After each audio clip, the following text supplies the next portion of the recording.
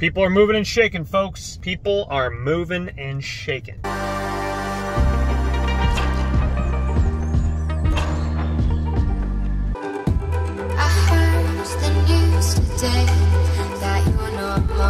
We got a curb alert.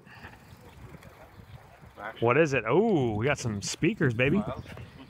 Some Sanyos. What's that? Like a. Yeah, fan. Oh, it's a humidifier. Nice. Definitely not free, but pretty sweet.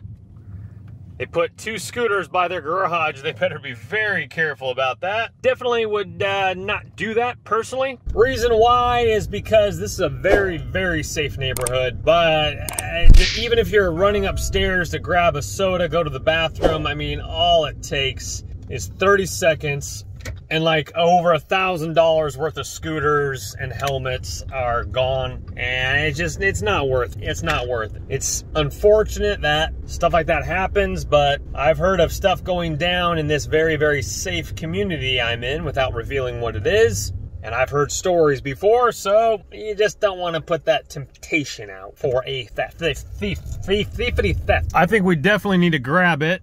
A Lego figurine and bookshelf speakers and something else.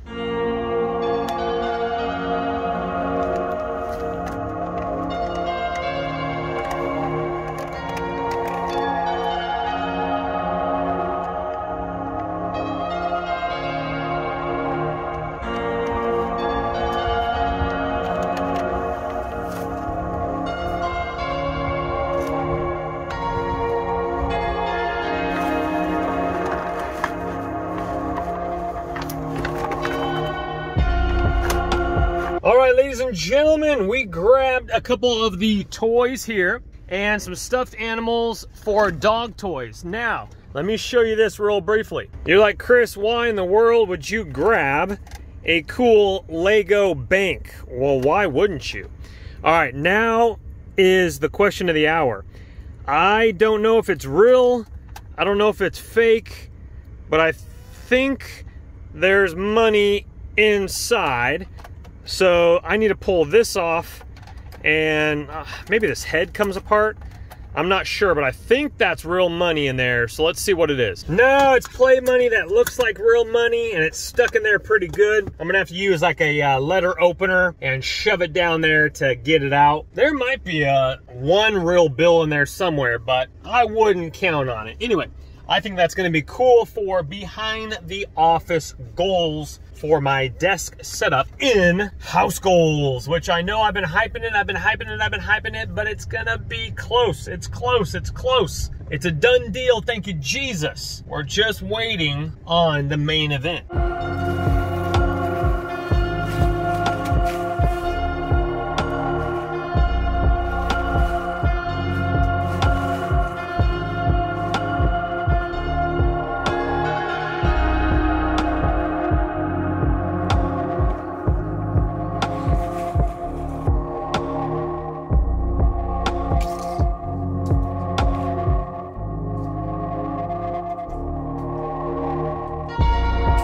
Right, ladies and gentlemen, we had some women's clothes in the white bag, and we also had some slats that were Ikea. Uh, something right here as well. Let me just creep on it real quick. Kind of looks like some junky wood for some oddball reason. That's kind of weird. Some like scrap pink wood. Some bedding pieces. Nothing to call home to mom about, so we're gonna go ahead and push on.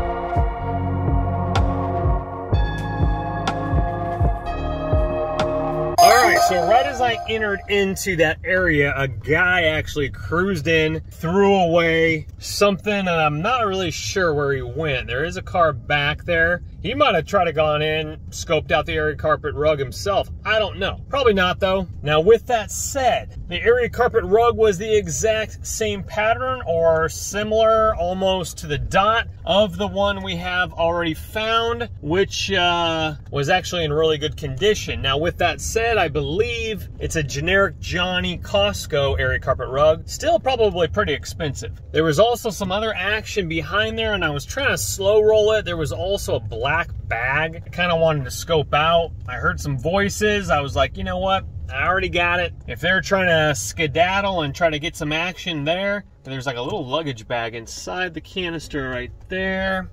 Don't necessarily need a small luggage bag. We got a lot more diving to do, so let's just go ahead and press on. Sky's the limit.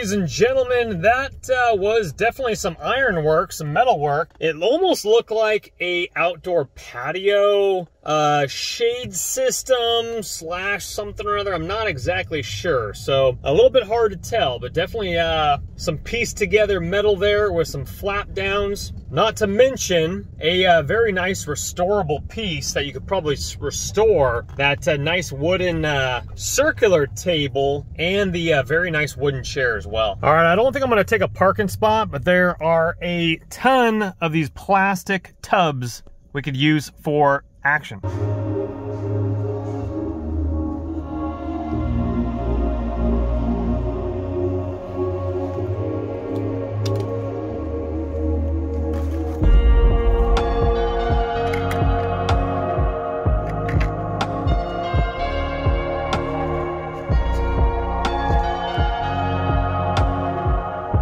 Some sort of Darth Vader case sitting on the half wall. Uh, unfortunately, I thought those were going to be higher up, uh, like milk carton uh, type of plastic things. They were kind of a little bit too low profile for me, so I decided to skip out on those. I was going I was going to grab a couple of those for um, moving boxes, Goodwill boxes, uh, plastic things you could scoot around pretty easily, but uh, decided not to instead. Also, if Uncle Phil was with me, Uncle Phil would have grabbed that three-wheel scooter for kids. I think those flip for about 40 bucks. All right, a little bit of action over here, a little cookware. Let's see what we got here. We got ourselves uh, a couch with a cover, an old crock pot, and then let's run up here. Hopefully no one pops out of the aisle away from the pool. And then a little cat or dog thingamabobber. All right, so I actually just passed by the one guy that was giving away all that stuff. I was able to grab the Jordans from. Uncle Phil was able to grab all the Christmas decorations. So his place is completely vacated. They have given everything away and sold everything they needed to sell. Probably threw away some stuff without me looking. And the maintenance guys were cleaning the place. The garage door was open and absolutely nothing was there, meaning that it has been gutted and they are preparing it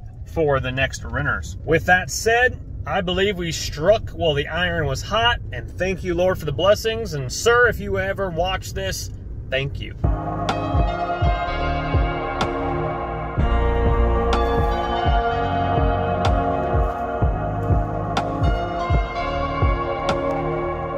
I'm pretty sure both those covers come off and those are washable and I think those will be stunning pieces for an outdoor pool area. Soft cloth. We're gonna hit this from a double take here. Anyway, lounge chairs for your balcony and pool. Definitely some nice pieces. All right, we're looking at, uh, oh, a big Ikea square bookshelf. We'll hit that from a double angle there. People are moving and shaking, folks. People are moving and shaking.